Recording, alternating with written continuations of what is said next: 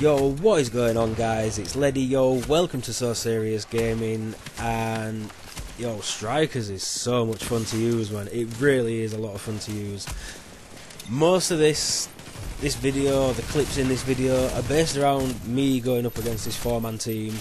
Um, they tried jumping me at the DZ5 checkpoint using fire bullets, shock turret, sticky bomb, you name it man, like, they were trying it, but they were going down as much as I was going down, so you know, it was pretty much a case of how well that sticky bomb hurt me or how well they managed to hit me when the shock turret caught me and things like that. Or putting me on fire and just I just couldn't do anything, I was screwed. But it was a fun night, man. It was a really fun night. So this is kind of just been thrown together with some strikers pieces I had laying around.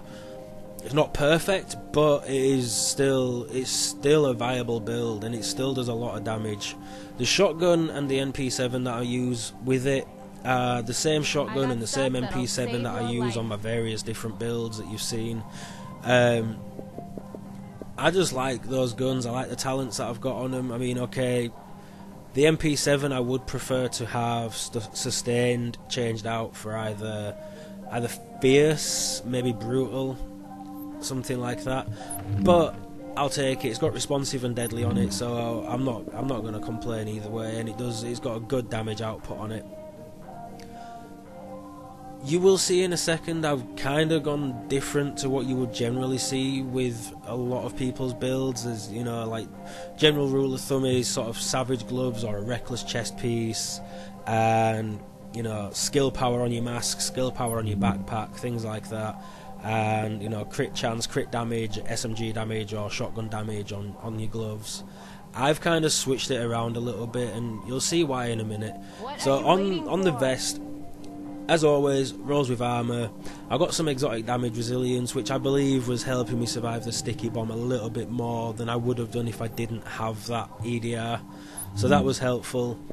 Now, as you can see on the mask, I rolled for crit chance as opposed to skill power. And there's a very good reason for that. Because I'm running the specialized backpack, I get 15% of my firearms and stamina added to my skill power. So that allows me to put crit chance onto the mask. And putting crit chance on the mask, you will see in a second what that allows me to do with my gloves. On the knee pads, I would love to get crit damage but I had to roll the electronics for the stamina, so I'm stuck with health there, but that's cool. I'll take it for now. It works. Now the the holster I got really lucky with. It came with armor already on it. It came with 658 on the firearms, I believe it was. So I rolled that, and I got 757, 755 on stamina. The skill power could be higher, but you know, I'm not going to complain either way. Now, the gloves, usually you see people crit chance, crit damage, SMG damage. I've got SMG damage, I've got pistol damage, and I've got health on kill. Now, in an ideal world, I would have crit damage, SMG damage, and then either shotgun damage or the health on kill. And ideally, a better firearms roll on that. But it works for now. The health on kill is actually really nice, so if I get another set that allows me to do it, I will probably go with SMG damage, um, crit damage, and health on kill because the health on kill was actually really nice. It, it, it, helped me survive a couple of times when I take one of them down, as you saw in that first clip. And then we specialised, as I say, the talent on it is add 15% of firearms and stamina to skill power, and it's come with skill power rolled on it. And then it's got pulse crit damage, pulse crit chance, which helps my pulse, and I always run pulse, especially being a solo player, and even in my team I always run pulse. On my Alpha Bridge build, I can get my pulse crit damage to just over 90%, so I can get it pretty high. On this, I believe it's I think it's 33% crit chance and 70 70 something percent crit damage. I actually can't remember the number that it is. Um, but yeah, it's seriously a lot of fun. Like I say, there is improvements to be made. I do want a better MP7. I just haven't got anything close to as good as the one that I currently have and I only really want to change the last talent on it. I just want sustained changing for something that helps me to deal more damage. That is all I really want to change. But even sustained is helpful because that is basically health on kill as long as I'm using that gun to to get the kill. So it's still really helpful. So I'm not going to complain. Now, I get a good heal and I get a, I've got a good pulse as you could see there. So the crit chance isn't really necessarily needed on the mask. You could go with skill power on the mask, and I think you can get crit damage on the backpack. But because my crit damage is already pretty decent anyway, and I want to get crit damage on the knee pads, it kind of made sense for me to go with crit chance on the mask. Because then it works out with what I want to go with. So most of the night I was I was running solo, so I was pretty much 4v1, and you'll see there that sticky bomb just screwed me up it screwed me up big time.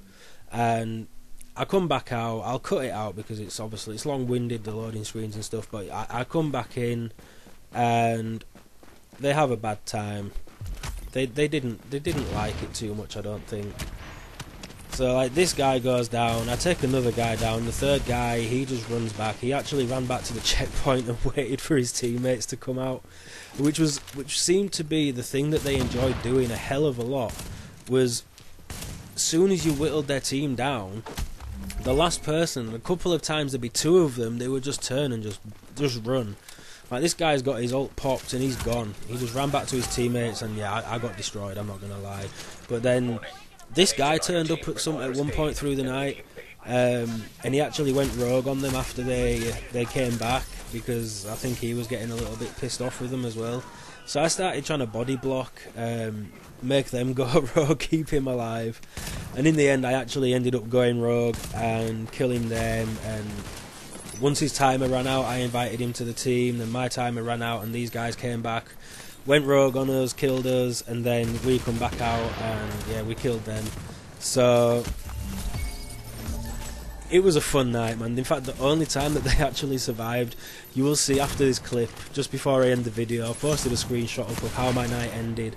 And basically, in order to, order to survive their rogue slash, well, sorry, three of them were rogue, one was on manhunt, was to glitch into the wall in the extraction, which is the only way that they actually managed to survive a full rogue slash manhunt run. So yeah, it was it was a little bit pathetic. Now most of this was shotgun, as you can see, but the SMG does work, as you can see right there. I do want again, like I say, I want to improve on the build and the SM, get the SMG doing a little bit more damage with like crit chance, uh, crit damage, and it, maybe even base damage as well by improving sort of firearms rolls, things like that. But yeah, that about wraps it up, guys.